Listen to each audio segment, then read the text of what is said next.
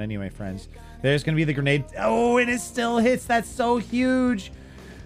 Fire blast into the totem there.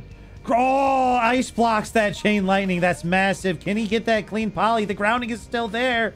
I think he's just, dude, I know exactly what happened, but I don't want to overanalyze it right now. I'll tell you afterwards. Frost Nova comes down. Cone of Cold does afterwards. It's going to try to ice block that damage. I don't know if there was going to be a chain lightning that came out or if he was casting it. I might have missed that. Rank 1 Frostbolt's going to take down the grounding totem. Rank 1 on Tez just to slow him down. Chain lightning tries to fake cast it there. Rank 1 onto the totem as well. Onto Tez. Tez using that helmet, dude. Helmet, dude. Helmet, dude. Helmet, dude.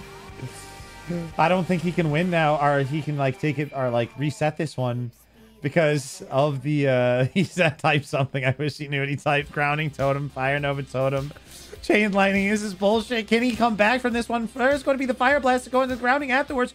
Does actually get the blanket silence onto Tez, cutting into that nature magic, gets that sheep off afterwards and gets that hard reset. Full pyro blast with the big Hadouken.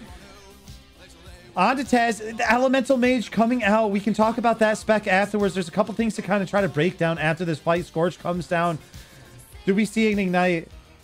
Little bit of damage coming out. Baap taking a lot of damage from that Chain Lightning as well. There's a grenade.